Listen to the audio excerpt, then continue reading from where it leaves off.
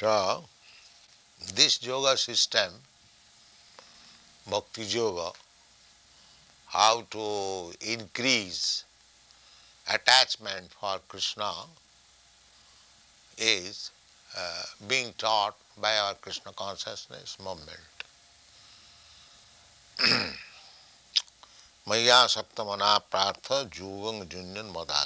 In this connection, one has to learn this yogic system uh, from Krishna directly or from his representative. Uh, that is the meaning of Madasraya.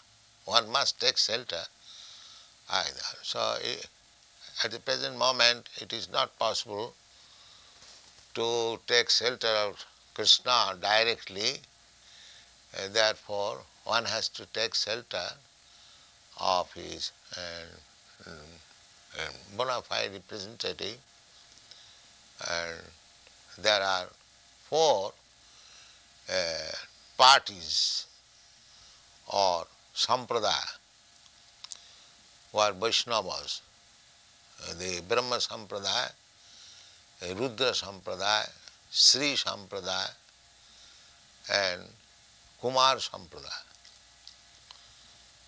So one has to take shelter of either of these sampradaya, disciplic succession, and uh, then learn the bhakti yoga system from him, then he will uh, understand or he will see God. Seeing God is not exactly uh, seeing with the eyes. God's another name is Anubhav, realization, revelation, realization. So that is wanted. That revelation is made by Krishna himself to the bona fide devotee. सेवन्मुखी he जिभादो स्वामेव स्फुरत्तद Krishna, God reveals himself. Just like you cannot see the sun in the darkness of night. Sun is there in the sky, but somehow or other, when your planet is on the other side and it is darkness, you cannot see the sun. Not that the sun is not there, but you cannot see. Ah. Similarly, Krishna is always present before us, but we cannot see him. Hmm. Just like Krishna when was personally present, they were there are so many hundreds and millions of men on the surface of the globe. Only few could see him that he is the Supreme Personality of Godhead. So even God, the Supreme Personality of Godhead, Krishna comes before somebody, it is not possible to see him. Uh, the, the seeing process is different. Premanjana churita bhakti vilochanena. One can see when the eyes are anointed with the ointment of bhakti. When the eyes are cleansed to see God. That is revelation. Uh, it is said that a pure devotee is seeing Krishna every moment. Uh, Shanta Sadaiva. Sadaiva means every moment. He is seeing. But that means he is a different person. His senses are purified, electrified, sanctified. That's what he is seeing. And one's eyes, if not sanctified, purified, he cannot see. There are so many examples. Uh, that's like a machine. A child is seeing but he cannot see properly. He sees a lump of matter. But an engineer, when he sees, he immediately understands that this machine is made by such and such, it is working for this, a good machine, bad machine, nice. He can see in different way because he has got the eyes to see. Similarly, to understand Krishna, God, we require to purify our senses. Uh, that is defined by Narad Pancharatra. Uh, Sarvapadhi Vinirmuktam, being freed from all kinds of designation. Uh, just like we are seeing Krishna consciousness, accepting Krishna consciousness in a, a vision, and somebody else, ordinary man, suppose somebody is in Christian, he sees Krishna consciousness as a movement of the Hindus. But actually it is not. Therefore, he has to become free from the designation of becoming an American. Sarvapadhi vinirmuktam. One should be free from the designation. Like uh, this body is a designation. Actually, there is no difference between American body and Indian body. The same physiological construction. Uh, there, there is blood, there is flesh, there is bone. If you see within the body, there is no difference. But still, we have designated I am American, you are Indian, you are black, I am white, and these and that. These are all designations.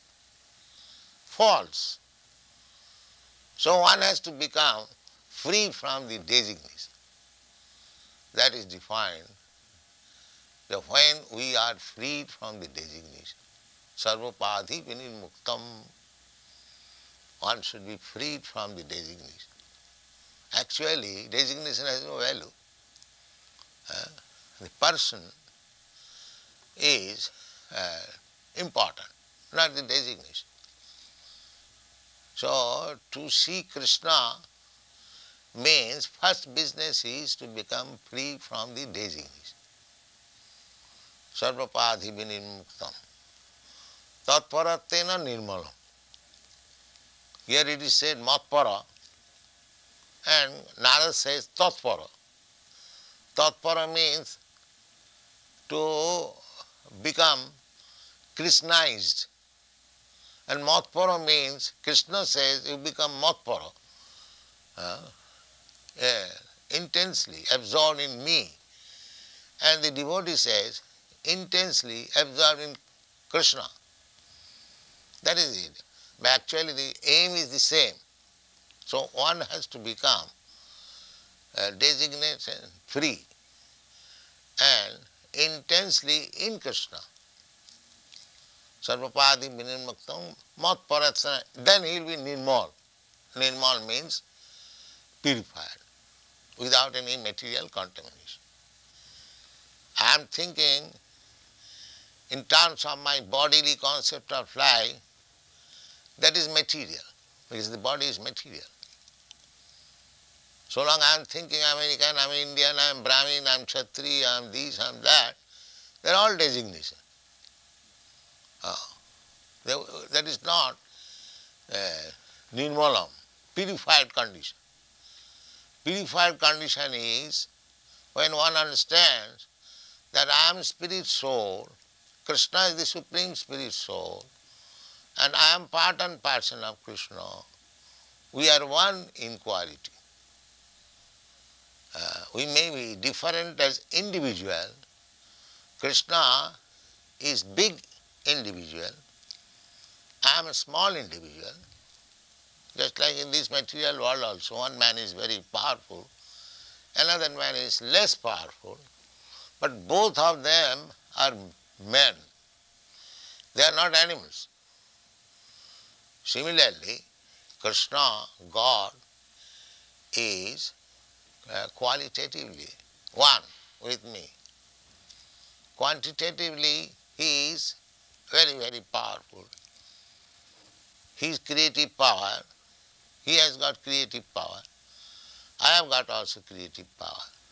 Uh, I can at most create a big aeroplane flying in the sky, but he has created big, big uh, planets uh, floating in the sky. He has made such a nice arrangement that it is floating. And we have to float uh, millions times less important than the planet, suppose a Sputnik, with so many machines.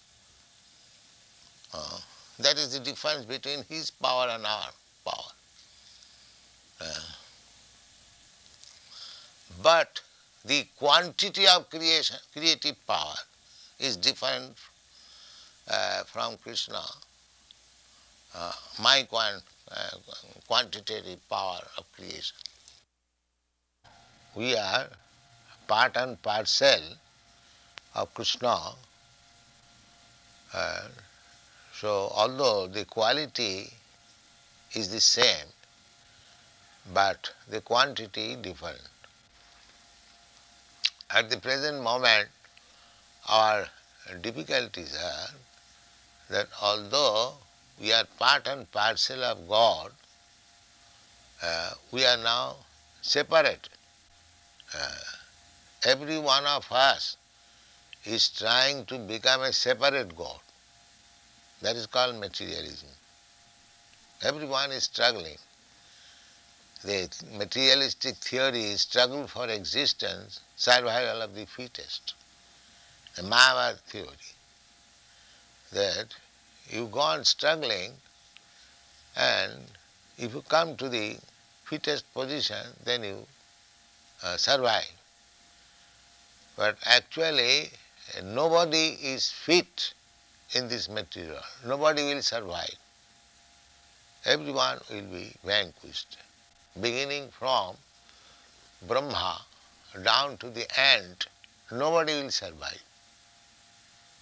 That is stated in the Srimad Bhagavad Gita that Abrahma Bhuvanalokan Punaravartina Arjuna.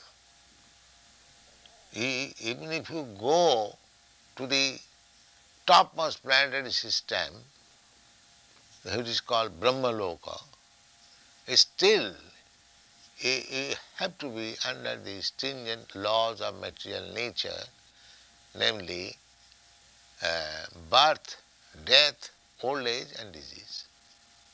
You cannot avoid it. Uh, so we remain insignificant in any condition of life, either as a Brahma, the duration of life of Brahma is described that we cannot calculate even. Even if you get such position, still you cannot avoid death. Uh, that is not possible. You cannot avoid old age. You cannot avoid disease.